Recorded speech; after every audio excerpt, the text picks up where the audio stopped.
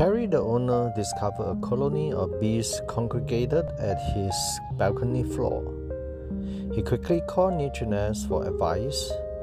From the video, the bees were gathering in locations seems temporary. So I advised owner to leave them alone and they will move to a different location after some time. True enough, the bee had decided to move to the new location underneath the plant rack nearby. Within an hour, all the bees had migrated to the new location and started building their nests. Terry requested to have the bee humidity removed.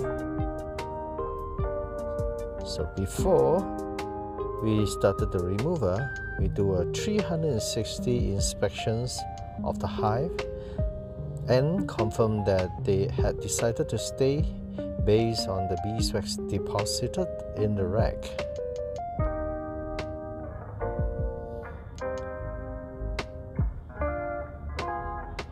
So you can see the racks here. So quickly we allocated the queen and transfer all the bee into the container.